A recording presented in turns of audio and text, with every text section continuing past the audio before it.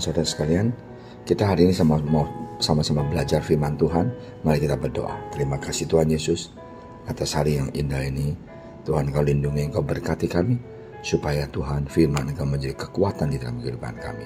Dalam nama engkau Tuhan Yesus, kami telah berdoa. Amin. Puji Tuhan saudara sekalian. Kita harus mau tahu bahwa kita mau belajar memberikan yang terbaik buat Tuhan. Sering sekali kita jadi manusia, kita tawar-menawar. Kita memberikan yang sisa-sisa buat Tuhan. Sungguh menyedihkan sebagai seorang anak Tuhan, kita bisa memberikan yang terbaik di dalam hal-hal duniawi. Tapi untuk di dalam kerohanian, kita memberikan yang sisa-sisa. Nah contohnya, Kain dan Abel. Kain memberikan yang the best dari apa yang dia miliki. Tapi Abel asal-asal memberikan kepada Tuhan. Apa yang terjadi? Kainlah yang diterima persembahan dia. Jadi Tuhan expect kita memberikan the best untuk dia di dalam kehidupan kita. Marilah kita sadar bahwa apa pun yang kita berikan buat Tuhan, Tuhan pasti akan membalas dengan 10 kali lipat, 20 kali lipat, bahkan 100 kali lipat. Ingat, kita hidup di dunia ini hanya sementara. Apa pun yang kita bangun di dalam dunia ini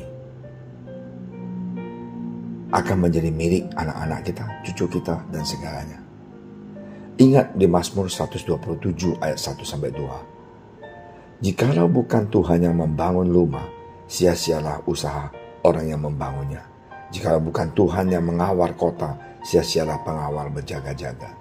Sia-sialah kamu bangun pagi-pagi dan duduk-duduk sampai jauh malam dan makan roti yang diperoleh dengan susah payah sebab ia memberikannya kepada yang dicintainya pada waktu tidur. Ayat ini memberikan kita semangat di mana kita harus mau sadar apa pun yang kita lakukan di dunia ini akan berlalu. Kita bangun usaha kita, kita bangun bisnis kita, kita bangun karier kita, itu tidak salah. Tapi marilah kita bangun di dalam Yesus. Taruhkan Tuhan yang utama. Berikan Tuhan yang the best sadar dan mempunyai tujuan bahwa apa pun yang kita bangun untuk memuliakan Tuhan, untuk memberikan the best jadi Tuhan. Inilah hidup kita. Marilah kita memilih hidup kita ini stabil dan memberi yang terbaik buat Tuhan. Tuhan menciptakan manusia karena itu kita mau belajar memberi keseluruhannya untuk memuliakan nama Tuhan. Dan dialah yang kontrol hidup kita.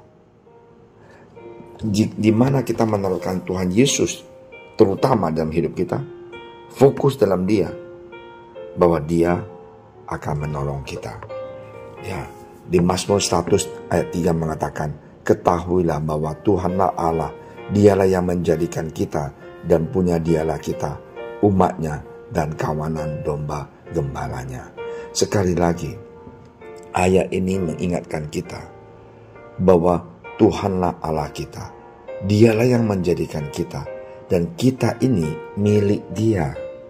Kalau kita milik dia itu berarti kita mau menaruhkan dia yang keseluruhannya di dalam kehidupan kita, di dalam pekerjaan kita, kita tahu kita lakukan ini buat kemuliaan Tuhan. Di dalam bangun keluarga kita, kita tahu ini adalah keluarga Tuhan. Nah, inilah yang harus kita lakukan sebagai seorang anak Tuhan. Ingat saudara sekalian, Adam dan Hawa, ya, mereka itu jatuh dalam dosa. Mereka diusir keluar di Taman Eden. Ya, bukan salah Tuhan karena pilihan mereka. Mereka tidak memberikan yang the best buat Tuhan. Mereka tidak mau taat kepada perintah Tuhan. Kalau kita tidak taat kepada Tuhan, berarti kita tidak menurut dan Tuhan Yesus dan kita tidak lakukan apa yang dilakukan. Berarti kita berontak. Kita bukan memberikan yang terbaik, justru kita berontak. Nah inilah salahnya manusia. Alkitab mengatakan kejahatanmu akan menghajar engkau dan kemurtakan kemud, kemutadanmu akan menyiksa engkau. Ketahuilah dan lihatlah betapa jahat dan pedihnya engkau meninggalkan Tuhan Allahmu dan tidak gemetar terhadap aku. Demikianlah firman Tuhan Allah semesta alam. Nah inilah sekali lagi kejahatanmu, kejahatan kita yang menghajar kita, bukan Tuhan yang menghajar kita.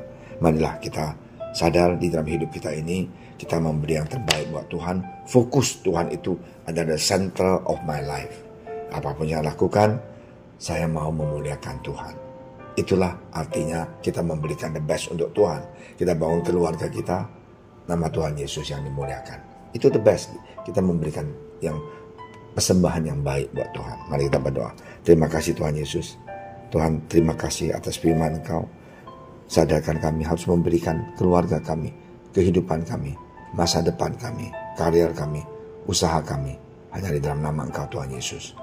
Tolong dan berkati dan lindungi dan jaga. Dalam nama Engkau Tuhan Yesus kami berdoa. Amin.